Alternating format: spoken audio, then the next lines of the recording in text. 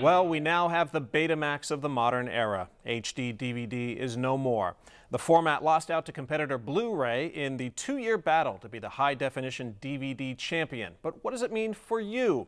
Here to help us sort it all out is Brian Cooley, CNET's editor-at-large. Welcome, Brian. Hi, Clayton.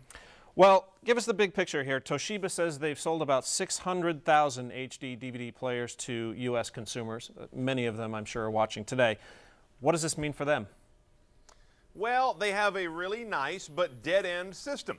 Uh, this is going to be the end of the line for HD DVD as Blu-ray continues on and becomes the de facto winner in this battle to put high-definition movies on a disc because a standard DVD is not high def. Now, folks who bought an HD DVD player and obviously would have bought movies to go with it have a perfectly functional system. Nothing expires or becomes incompatible here. It will work till further notice with your high def TV, so it's not a waste of money. It's just a strategic waste of money. You're not going to be able to buy another deck for another part of your house in another month or two. You won't be able to buy any more movies. The supply will just dwindle down to nothing as existing stocks are sold. So it's not a crash and burn for people who bought this, but it's the end of the line.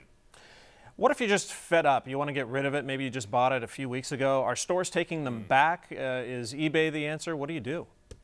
Yeah, check with, you know, the stores typically are going to apply their normal return policy to this. This is not something the consumer should be penalized for. So if you're still in the return window, it's a product like any other. You just take it back. If they wanted to change that, they would have had to have done it at the time of sale. And obviously, these were just sold as regular products. So you can return it, I would imagine. Uh, and the, maybe the discs, although media return tends to be a little dicier. But the bottom line is it's probably not worth it unless you're just really uh, philosophically annoyed by buying a dead end product. I'd keep it and enjoy those movies. Maybe you're going to end up buying a Blu-ray deck as well. That is messy, but you know, it's it's not a great situation no matter what if you invested in HD DVD. Now, up to this point, sales of HD DVD and Blu-ray uh, players and titles have been relatively lackluster when you compare it to regular DVD. Is this yeah. the green light where consumers holding back? Are they now going to rush out and are we going to see Blu-ray sales go through the roof?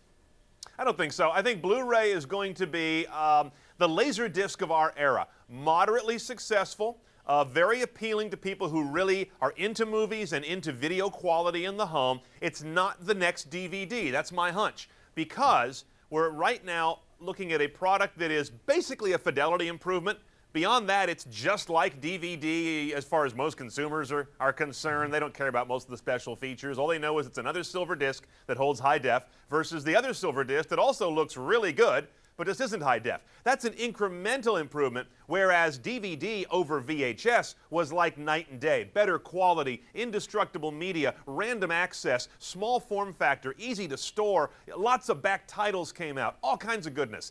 Going to Blu-ray or HD DVD, whichever one would have won, is just a matter of becoming a high fidelity medium, and we are not a nation of videophiles. Most of us want to see a good story. We're not too concerned about the resolution when push comes to shove, especially if it's an expensive revamp of our movie collection.